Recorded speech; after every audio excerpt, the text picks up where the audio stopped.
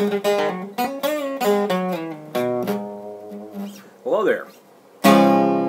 Would you like to learn how to play guitar like Eric Clapton? Sure, we all would. But we don't all start off playing like Eric Clapton. Some of us need a little help getting the basics. So that's why we have at the West Chicago Public Library a class called Learn Basic Guitar Chords.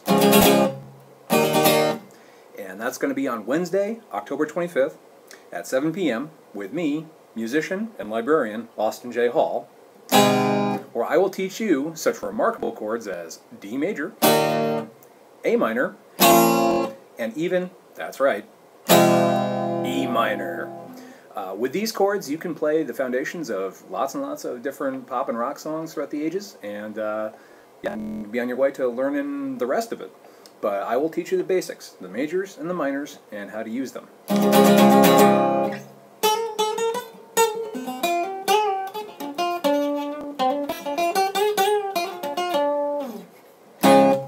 So come on down to the library, and that's October 25th. It's a Wednesday at 7 p.m., and I will teach you how to play guitar chords. Thanks a lot. See you there.